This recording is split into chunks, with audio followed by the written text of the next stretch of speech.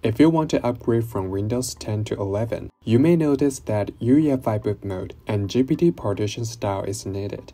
However, when you're trying to convert disk to GPT via disk management, you'll find the Convert to GPT disk option is grayed out. Don't worry, keep watching to find the solutions. There are two situations. For the data disk, the disk you want to convert is not empty because disk management can only convert an empty disk. That means you have to delete your partitions to convert. For the system disk, even if your disk is empty, the button is still grayed out.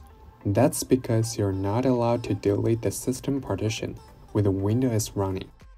If you are the first situation, you can only backup your data and then delete the partition to convert the disk. If you are the second one, you can turn to CMD, but boot PC from installation media.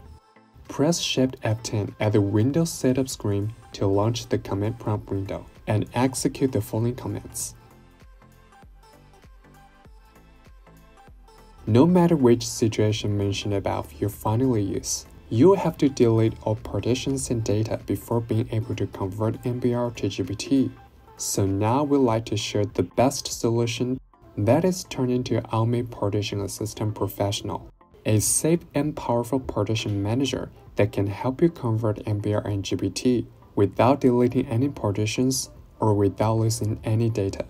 You can now download the standard free version in the description and decide if you may upgrade to pro version later. Launch AOMEI Partition Assistant Professional. Right-click the disk you want to convert and select Convert to GPT disk. Click OK to confirm the operation. You can now preview the conversion. To apply the changes, please click Apply and proceed.